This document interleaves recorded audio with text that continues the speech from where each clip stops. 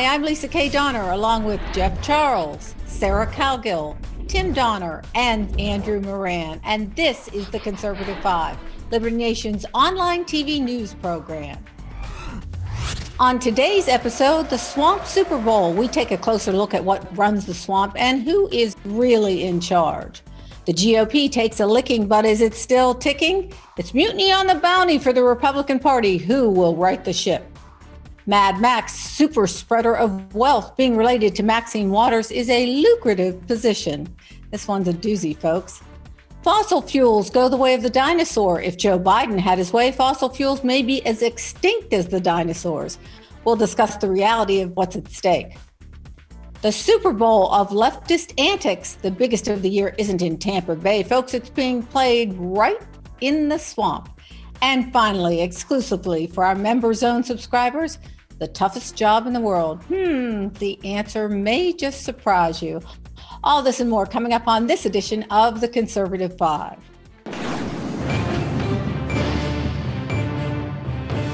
It appears Republicans are in full mutiny mode as anti Trumpers and pro Trumpers are both rapidly shedding party affiliations. Several George W. loyalists believe the massive Trump base, they call it a cult, leaves no room for their brand of conservatism. Pro Trumpers feel they have been betrayed by the Republican elites and are ready for a Trumpian party. And to validate the sinking of the ship, both Rasmussen and Reuters have released poll results that show a colossal hole in the boat.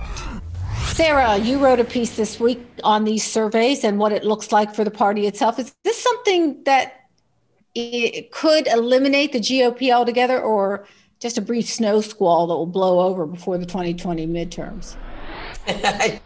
I, I, don't see anything blowing over by 2022, that's for sure. Um, I've never seen a fractured party uh, as much as the Republicans are fractured right now. They basically turned their backs on a president um, that was duly elected by a whole bunch of people in 2016, and, and they just fought him on everything. So now we're at a point where you know he was running for re-election people were out in droves, parades, boat parades, car parades, miles long. And of course, Biden is now in office. You've got a lot of honked off people in red states and they they're bailing out of the Republican Party. And then you got the the other Republicans that think that the Trump people have taken over the Republican Party and they don't want to be part of it either. So I mean with either one of those if either one of those sides bails out altogether, which I think they are, I don't think there's going to be a GOP. I think it's going to just go away. I think there will be um, the MAGA party. I think there will be some sort of absorption of the never Trumpers into other places, maybe just independents. I don't think they'll start another conservative party. I think they'll just flounder around until you know they can figure out either to take power or or or to just go away because MAGA people aren't going away, not anytime soon. Really, honestly, the future of the Republican Party right now rests in the hands of Donald Trump and what he wants to do. Because of the 75 million people that voted for him, a good chunk of that, maybe a majority, voted because of him, not because of the Republican Party, although many of them may have voted Republican anyway, given the choice. But if Donald Trump sends out the signals that he's going to start a third party, it is all over for the GOP, like like Sarah said. Uh, but I would, if I had to guess, and who the heck can can invade the mind of Donald Trump other than the man himself? But if I had to guess, I'd say that he's going to be very active in first going after Liz Cheney, who voted to impeach him a second time. He's already got his allies in Congress, like Matt Gaetz, working on that. Uh, but I, I would guess that he's going to be an active voice from the outside, and he will critique party candidates as to how establishment or how America first they are. And if the Republican Party thinks, like Mitch McConnell, that they can separate themselves from Trump because they're in a snit about how he handled it two months after the election, then they're going to find themselves in the wilderness because they cannot win without the Trump voters. Let me just say one thing. Was anybody here surprised about the Liz Cheney vote. I mean, she wanted a vote. She she had she had whipped the vote, and and she she got 145 people that said, "Hey, you stay in a leadership position." I mean, maybe we're just in an echo chamber here, and and they're we're wrong. We're all wrong, and and there are a lot of you know dyed in the wool, standard, run of the mill kind of GOPers out there. Well, I, I wasn't surprised by by that vote, but at the same time, I I don't think it really matters. Liz Cheney is in trouble. And, and it's not, I don't think, I think it's even just her vote for impeachment. She's a neocon. She's part of the establishment, and the establishment is in trouble. I'm loving all of this. I don't think that the GOP is going to go away. I think the GOP as we know it is going to go away. We're not going back to the days of the establishment. As far as, you know, her not being stripped of her leadership position, I mean, that was a, that was a decision made by the elites, the establishment. The real test is going to come in 2022, and it's not looking good for her. The rank and file Republican conservative voters are not fans of hers. She's pulled, she's pulling very badly in Wyoming already. You've got Matt Gaetz out there, and and no, and and it is not just her; it's the entire establishment. And we do have an idea of what Trump is doing. I mean, he's formed a political action committee who is dedicated to attacking the incumbents that are part of the establishment, especially those who who supported the Democrats' impeachment effort. He, as of this, as of January of this year, he's raised over thirty million dollars, and he's going to raise more. So Trump Trump is is just pulling the hammer back. He, he's he's getting ready to go, but he is going to have a say. I, I don't know if he's going to start a third party. I think he's already kind of uh, said that he doesn't really want to do that, but he's going to use his influence to go after establishment incumbents during the primaries, which is exactly what we need. Andrew Moran, what does dost thou say? Well, I, I, think that maybe they're maybe they're afraid to go after Liz Cheney because they'd be afraid to go in the wilderness with uh, uh, Dick Cheney and go hunting. So maybe maybe that's. but you know, this could be a prime opportunity for the Whig the Whig Party. The Whig Party could make a comeback in uh, the post-Trump era. But you know, if I were a Republican, a principled Republican, a Calvin Coolidge or Robert Taft Republican, I would have left this party a long time ago. I would have left it when George W. Bush became president. This was a guy who you know he ran up huge deficits. He went into these wars. He put everything on credit cards. He expanded expanded the size and scope of government. He had the surveillance state and everything that Bush started and, and everything that the Trump Republicans despise today was happened under him and was exacerbated or maintained by his predecessors. I, the only hope that GOP has is having people like Thomas Massie or Rand Paul hopefully lead the Republican Party in the future. Uh, but at the same time, I do give the GOP some credit because they're actually having they're actually firing back. You know, with this whole uh, uh, Green uh, Congresswoman Green, you know, they're they're starting to go after Ilhan Omar and trying to kick her off the committees by you know, I guess using as revenge against what's ha- what's going to happen with um, uh, Representative Green. But overall, I mean, if anyone thought that Mitch McConnell was going to have a backbone and do something, you know, serious for the for the future of the Republican Party after Trump left, you know, that's just as insane as the Q shamans when they when they appeared on Capitol Hill a month ago. Well, Jeff, I know you've been pining for uh, some changes in the GOP for a long, long time. Um, what kind of changes have, have you been advocating and why? And do you think we're on the cusp of maybe getting there? Yeah, a lot of it has to do with, with what uh, what Andrew just said. I mean, uh, the the neocon establishment needs to go. They're still in power to a certain extent, but they they need to go. We need to stop being so involved in unnecessary wars. We need a GOP who will actually appeal to all Americans, and uh, that includes minorities. We we want I want a GOP that follows Trump's example as far as reaching out to Black and Hispanic voters. Um, we we need a, a government that is actually conservative and not uh, and not uh, representatives who are just in office who pretend to be conservative. We want actual, we, we want a better economy. We want lower taxes. We want less regulations. We want all the stuff that the, the establishment has said that they've wanted for decades, but didn't really want. So, really, th- th- there isn't much new here. It's just the difference is that we want people who will actually put that into action instead of just talking about it. I would suggest that those people in the GOP that want to go back to the days the good old days of George W. Bush, the George Wills, the Bill Kristols, the neoconservatives, the Warhawks, all of those people. I would suggest that they look at the 2016 Republican presidential primary, where the GOP put forward every single one of their top tier candidates Scott Walker, Jeb Bush, Marco Rubio, Ted Cruz, and on and on 17 candidates And Donald Trump wiped out every single one of them. Do they really believe the party's changed so much in four years that now they say, well, let's go back to the days of McCain and Romney? I don't think so. But at the same time, I mean, when, when, Trump was president, what really changed in the Republican Party when it comes to the big issues? Trump ran trillion dollar deficits. He still had troops in Afghanistan and Iraq. The Patriot Act was still there. He could have he could have pardoned Julian Assange or Edward Snowden. He chose not to. He chose to side with the Mitch McConnells and Lindsey Grahams. So you know, I, you know, President Trump he, he was better than a lot of his Republican predecessors. But to suggest that he was the Messiah and completely transformed the Republican Party and the United States government, you know, I I, th- I think it's absurd. Without well, I would I would suggest that he has transformed the Republican Party, Andrew, because the truth is that the Republican Party is now, hold your breath, the party of the working class. When exactly. Did you, when did you ever think you would say that happened? I consider that to be the, the, the most significant part of the Trump era is that he did transform the Republican Party into a party of working class, everyday Americans who felt basically distanced from the coastal elites who were running the Democratic Party. Exactly. I, I that that's a fundamental change in the Republican Party. Sarah, what were you going to say?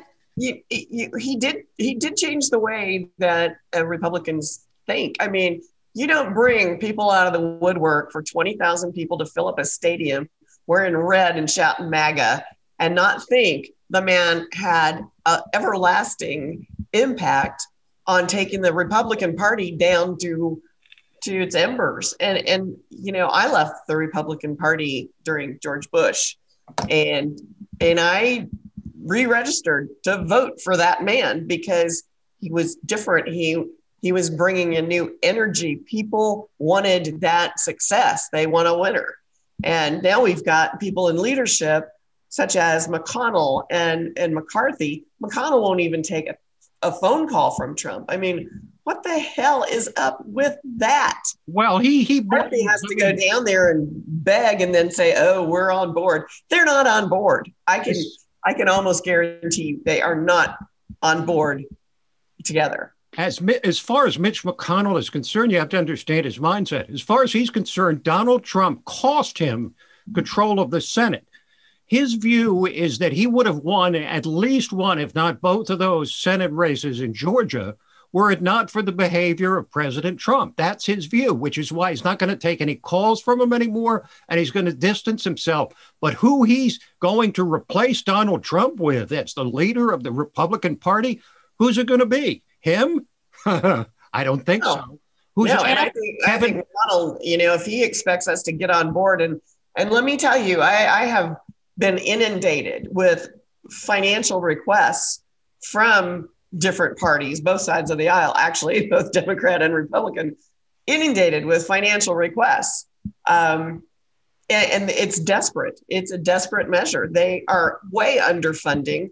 Nobody likes what they're doing. People are ticked off. People that, you know, maxed out all of their donations to the RNC to help put Trump back into office you know, I can pick up the phone call 10 people right now, and every single one of them is going to say, I ain't giving them any money. Screw them.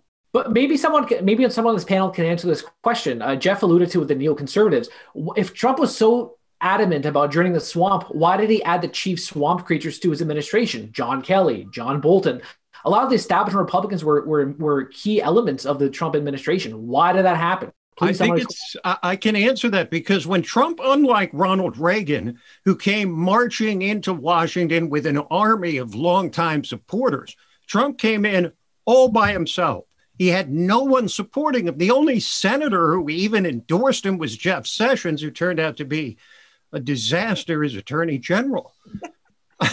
but but he came marching in alone, and he knew in order to govern at all, he had to have some establishment figures. It took him, you know, two, three years to figure out who he could trust and who he couldn't, and separating, you know, a guy like Mike Pompeo, who he could trust, from the many that he hired that he found out that he couldn't trust. So I think okay. that's the answer. I don't think he wanted to hire establishment people, but I think he figured if he was going to okay. get anything done, he had to. I'm going to wrap this up, Jeff. Final word.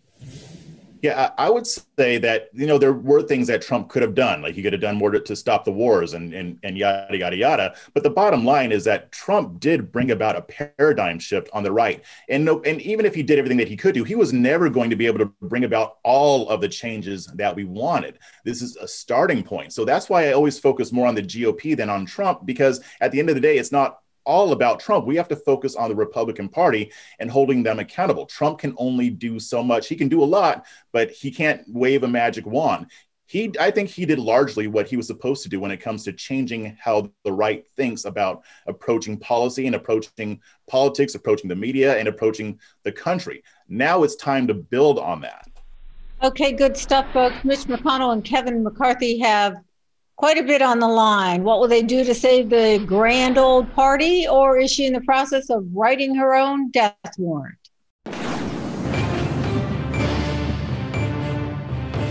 Our old gal pal, Maxine Waters, is in the news again, and not for inciting violence against Trump folks, but for doling out campaign dollars to her daughter. A cool 1.1 million, to be exact, is what many are saying. This is apparently based on Federal Election Commission data. The daughter of the California Democrat organized a slate mailing operation to push her mother's reelection. The thing is, slate mailing is uncommon, so uncommon. Maxine is the only federal candidate in 2020 to use such tactics. So, how, how is it that no one is talking about this? Jeff, let's start with you. What's up with the lack of reporting on what for all the world appears to be the misuse of campaign funds. Will the California Democrat remain untouchable, in your opinion? Unfortunately, yes, she will remain untouchable. Maxine Waters has a history of corruption. She, I think, she was even voted the most, uh, had the most uh, ethics violations in in in the House of Representatives. She she has a long history of being corrupt, and even people in her district know that she's corrupt. But she's going to remain in place. Why? Because of what I always say: the GOP won't challenge her. They won't put up a viable challenger. The person that that, that they put up or supported to challenge her in this past election season was a joke. He ended up in jail for stalking a girl. So I mean, it, it's it, until the Republicans actually take this stuff seriously and start actually mounting challenges, people like Maxine Waters will stay in Congress until they decided to, retire or until they die. So, I mean, it doesn't really matter what she does because she will not be held accountable. The activist media is not going to call her out and and and she recently just just accused President Trump of premeditated murder for the riots. So she can say and do whatever she wants, and she knows it. Wow, that's pretty clear.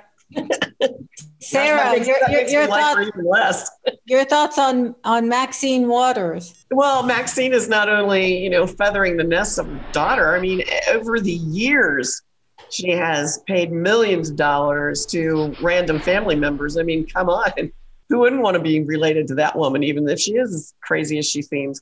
Um, I, I, I can't believe that somebody hasn't called her on it. Um, over the years, I mean, press didn't used to be so squishy, you know, about they didn't used to be so anti middle of the road. And, you know, 20 years ago, somebody should have nailed her then. I, I don't, I'm, I kind of agree with Jeff. I don't see her coming down unless she you know, trips down the Capitol steps accidentally or something. And Andrew, I know this offends your your sense of uh, you're the economic correspondent here. This, this just offends your sensibilities.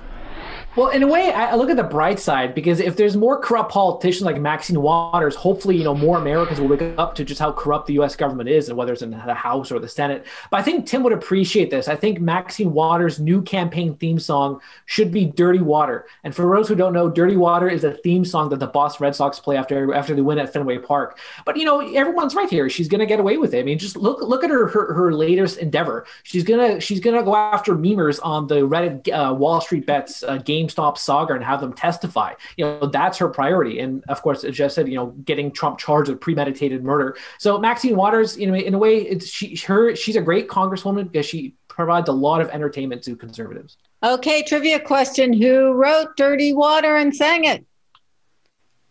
Bing. Got me. the, the Standells. The Standells. I was going to say Babe Ruth because it was the Red Sox, uh, but Oh, that's right. They traded him to the Yankees. I forgot about that. Sorry, Andrew. Um, the thing is that let's tie this behavior by Maxine Waters to that of the Biden family to point out that this is endemic to the swamp. This is the type of behavior, this is the type of corruption that Donald Trump ran against. That anybody who wants reform in government, from Andrew right on down, you know, is dying for this kind of activity to go away because it continues. People come to Washington poor, they leave rich, they never explain how it happened. We know about the Biden family, we know about Maxine Waters. It happens with Republicans too. This is quintessential swamp behavior, the kind that the voters went out in force to vote against in 2016. And as far as 2020, your guess is as good as mine. Yeah, I wrote a couple of years ago talk, having a laundry list of all the politicians' kids who have benefited either you know serving in government or getting nice positions in nonprofit organizations or corporations or or uh, law offices just because of who, who who they're connected to. The Kennedy family, God, they they've had such you know ex- established positions and millions of dollars in the bank accounts going from uh, even before JFK, his father uh, uh, Joseph Kennedy. Uh, so all these people, you know, if you have a great last name in Washington, you're going to set yourself up. You're going to be a wealthy person. You know, this actually kind of ties into another uh, troubling aspect of American political discourse today.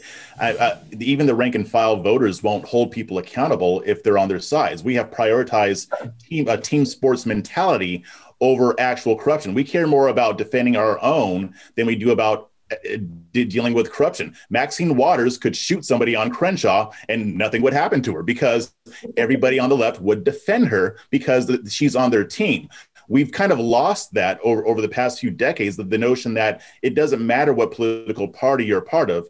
If you're if you're engaging in illicit activity you need to be held accountable. But now we only have this principle when it's based on somebody that we don't like. And, and both sides do it but nothing will change until we get out of that mindset to where we can take somebody if, if you're a democrat and you see another democrat doing something that's blatantly wrong and call that out that's when things will change. But uh, as it is right now, we're so ingrained in our teams that we're not willing to do that. Well, maybe maybe the best way to do that is to put pressure the constituent, the voter, to put pressure on the parties and say, "You ain't getting a dime of our money unless you clean house." Yep. I mean, that's a good idea. Of course, the problem is that we only have two political parties. I mean, this is not a parliamentary system where we have multiple parties. So you've got ca- basically catch all parties where you've got Donald Trump and Mitt Romney in the same party, and you've got Maxine Waters and Joe Manchin in the same party under the same basic umbrella, even though they believe things, you know, very differently. Uh, but the, the people I the, the people made their statement in 2016 about the type of corruption we're talking about here. But I mean, it goes, the list goes on and on to the point where I, I have said that I don't believe Hunter Biden will ever, the Hunter Biden story will ever be brought to light because it will be so easy for the Biden administration to go to various members of Congress in their own party, but mostly in the GOP, and say, gee, it'd be a shame if I revealed the story of this contributor and what you got in return for it because Washington is replete with stories like that. So, consequently, because it is, nobody wants to point the finger at anybody else because they're afraid it'll get pointed right back at them. Well, if this if this administration wants unity, they're going to have to get at the party level, and people are going to have to just go. Here's our five. You get rid of these five, and we'll get rid of those five, or however many. It could be the whole dang you know, Congress. I don't know, but I think that there needs to be something from the ground up because the top down is not working. I think it was Thomas Sowell said that if you passed a law against lying in Washington, it would be an eerie silence from coast uh, from uh, from district to district. an E.F. Hutton moment, right? Uh, but I think you you uh, mentioned earlier, uh, Sarah, that Waters' daughter isn't the only fam- family member who's profited from her time uh, in all her campaigns. In 2004, the LA Times found several members of Waters' clan yeah. had received over a million dollars in the previous eight years from businesses and campaigns relating to Maxine Waters. So she seems to be continuing this operation with impunity. Anyway, nice work if you can get it. Thanks, guys. That's all I have to say on the matter, and that's all we have time for today.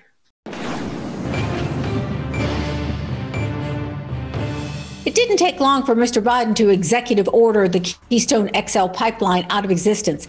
Thousands of oil and gas workers lost their jobs with the stroke of a pen. Unions are hopping mad. And we're wondering do people understand how we heat our homes, get to work, get our kids to school? Is this ban on fossil fuels going to destroy more middle class families? That is the question.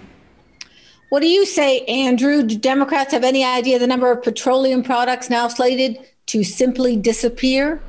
Well, I think they do because if you look at insecticides, fertilizers, and deodorants, they're made with oil. They're made with fossil fuels. And when you're a chief creature in the swamp, it's understandable why you want to get rid of some of these products. You know, so. But in all seriousness, I, I think they don't realize the damage that they're going they're going to inflict on the United States economy, especially in the post-coronavirus recovery, by targeting oil and gas the way they were doing. I mean, getting rid of the Keystone Pipeline, that's going to get rid of uh, at least 11,000 jobs, according to uh, TC Energy.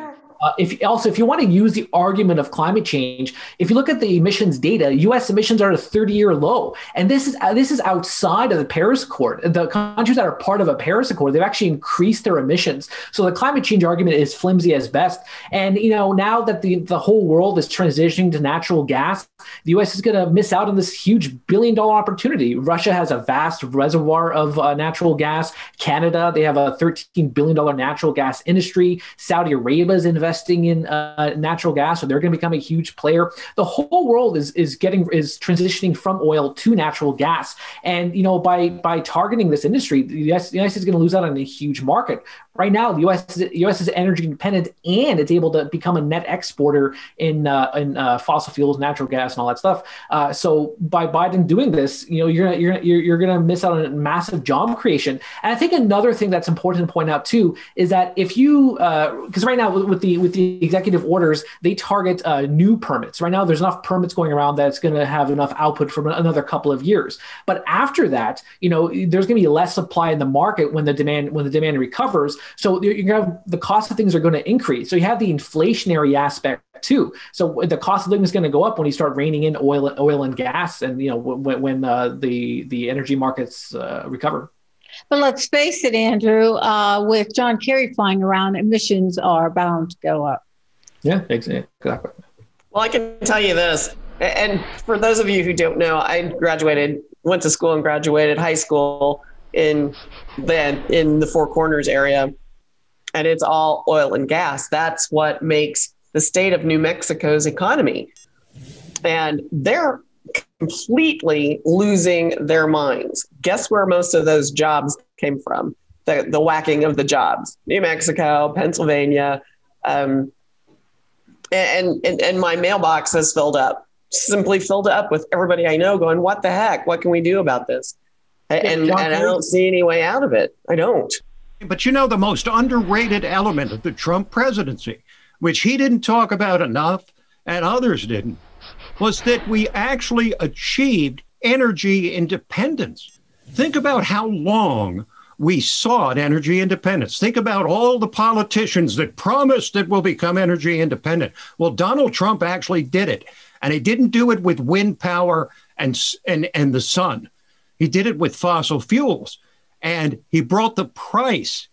Consequently, the price comes down when we have energy independence and are not dependent on foreign oil and OPEC in the Middle East, and we don't have to send our kids into foreign wars for the sake of oil anymore. This is this is a metaphysical significance to the United States. So the idea that we're now going to pull back from becoming 100% energy independent for the sake of what?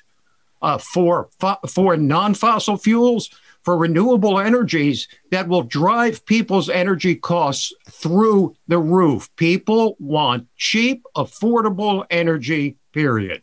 You know, I think every election since I've been able to vote, it was all about we have to become energy independent. We have to become energy independent. So we finally become energy energy independent, and the very next person that comes along does stuff to stop us from becoming energy independent. I don't get it. Well, that, that's because they were just kidding when they said that. That it was a joke. We, we didn't get the joke. just sounded good. I, mean, I mean, the globalists. I mean, I mean, if, if you're you're a globalist, you don't really care about us being energy independent. You want us more entangled with other nations. So it makes sense that you would roll back some of those things, even if it puts people out of work, even if it makes things more expensive for everyday Americans. This stuff isn't going to touch the elite, the globalists, so they don't care. And didn't one of Biden's advisors say that even if we got our emissions down to zero, it wouldn't really even make a difference because of what other countries are doing? I mean, exactly. It, it, U.S. is about seventy percent of the world emissions. Uh, I'm sorry. Would, could you say that again, Andrew? Oh, the United States, they represent about 17% of the world's emissions, you know. And as I said earlier, if you look at the actual emissions data, all these countries that are part of the Paris Climate Accord, their emissions are going up. So, you know, the United States is negligible. And one other thing too, uh, I know maybe, you know, we shouldn't talk about this, but former President Barack Obama, he actually helped with the whole energy dependence thing by lifting the ban on foreign exports and allowing some offshore drilling too. So I think Obama should, you know, in all fairness, get some credit too, even though, you know, he paid lip service to the whole, you know, uh, climate change uh, glo- globalist and tree hugger movement. And now there's 195 countries in the world. What if we're the only ones who want to live by the strict standards that the left wants? The people in the environmental, well, you could call it the environmental extremist movement or the environmental activist movement. What about the other 194 countries? If we by ourselves reduce our carbon footprint and nobody else does, what difference is it going to make? And the left admitted long ago in the in the early part of this century when Al Gore was, you know, had lost the election, had kind of lost his mind with the whole uh, hockey stick thing and global warming and everything. But they they admitted that a single remember the Kyoto Protocol they admitted that even if we were to accept it and embrace it, which we didn't, that you'd need 30 or 40 more Kyoto protocols to even make a dent in climate change because, hey, headline news, we can't affect the weather.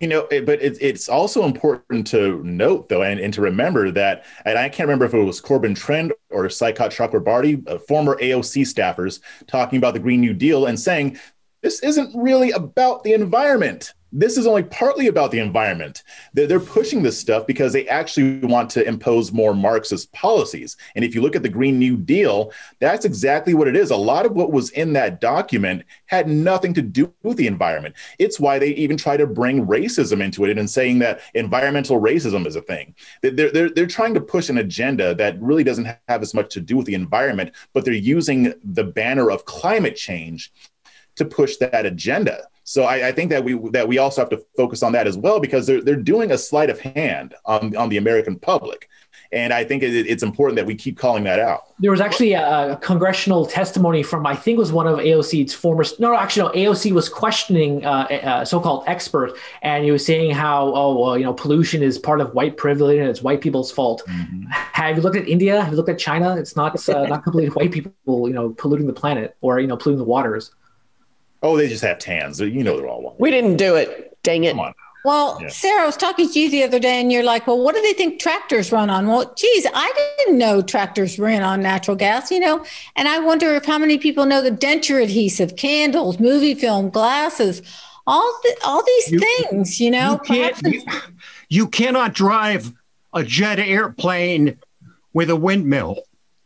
No, or the no. sun. You can't. You, can't fire up a combine unless you've got fuel. I mean, you can't plug it in and, and let it go. It doesn't work that way. It's too much. And because of because these get over it. Because these renewable energies are not reliable, they have to back up all of them with fossil fuel. So yep. you, you you can't rely strictly on wind or solar or biofuels.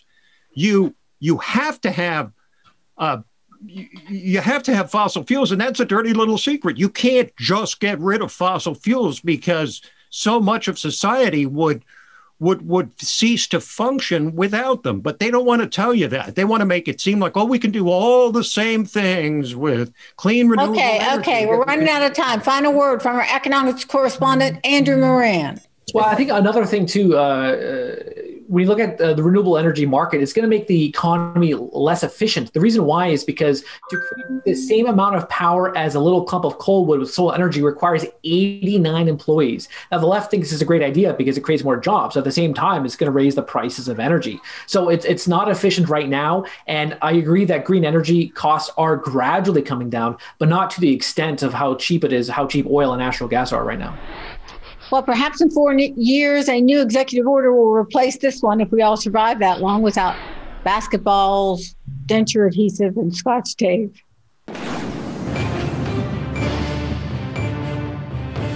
It's Super Bowl week featuring the Kansas City Chiefs and the Brady led Tampa Bay Buccaneers. But since the country is still somewhat under quarantine, we're going to look at the many crafty and ridiculous plays of the ongoing game in the swamp. AOC is lobbing accusations of abuse and attempted murder. Mitch McConnell is acting like a woman scorned over President Trump. And some are musing that fencing around the Capitol is simply keeping Joe Biden from, well, wandering off. So here we are, ready to bring you the Swamp Super Bowl of leftist antics. Tim, who is your loony player of the weekend? Why? I'm not going to pick a single person. I'm going to pick every person that continues to call for the removal of Josh Hawley and Ted Cruz from the Senate. It isn't enough to go after President Trump and try to impeach a president who's no longer president.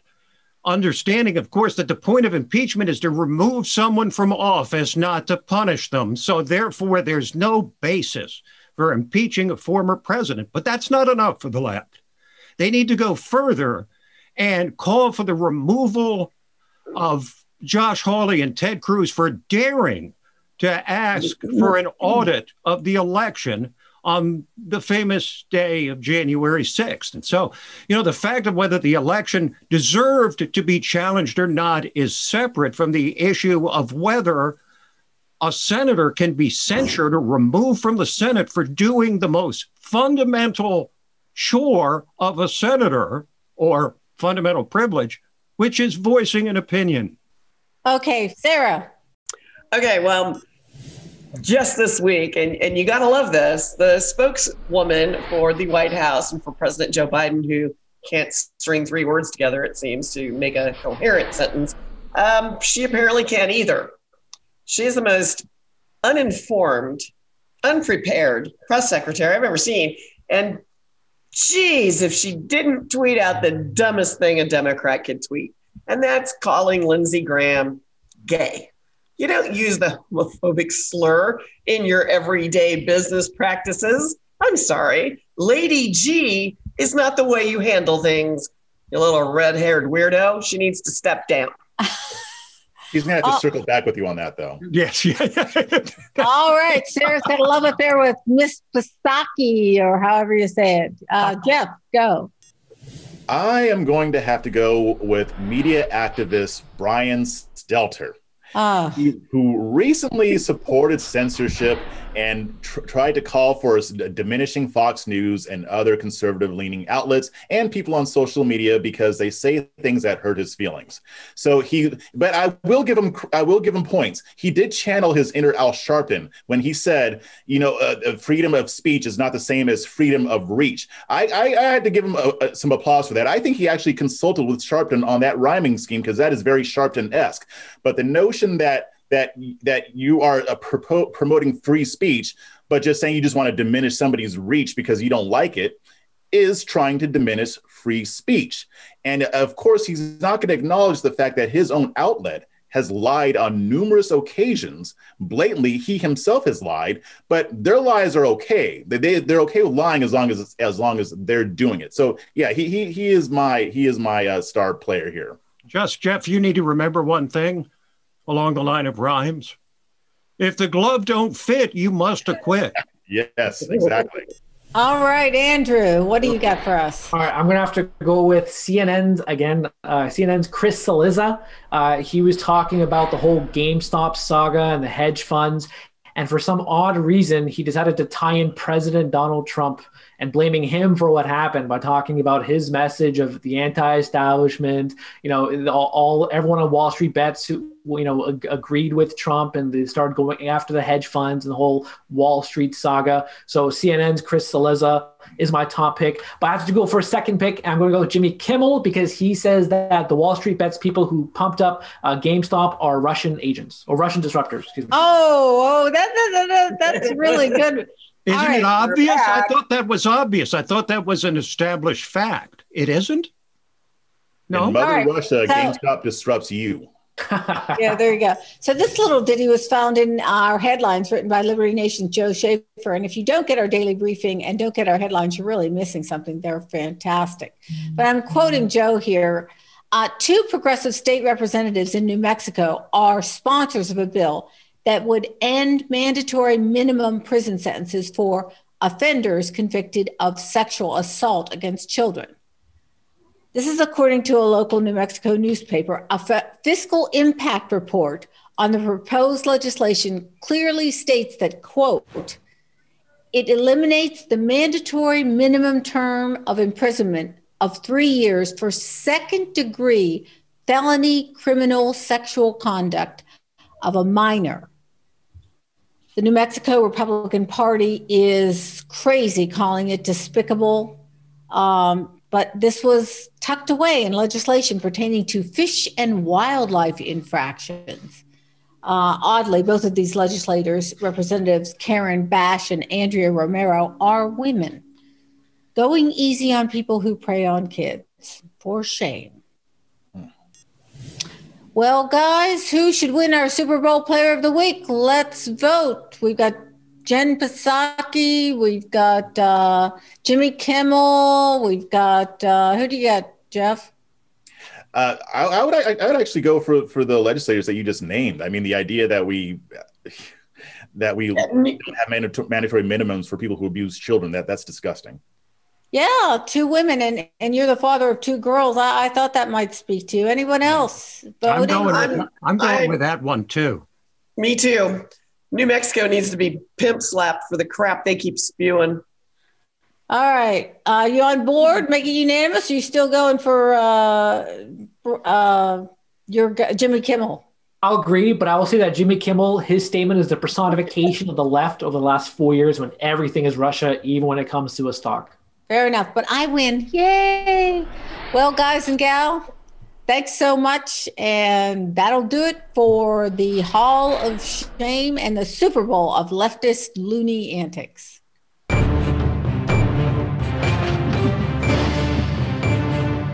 That's it for our Conservative 5 panel today. Check out our other C5 shows and segments on your favorite video platform YouTube, Vimeo, Rumble, we're on them all. As well, Liberty Nation has its own Roku channel where you can see all our TV productions. Thanks so much for tuning in. And remember to surf on over to libertynation.com. Sign up for our new member zone, just $17.76 for the year. And remember, liberty all the time and everywhere.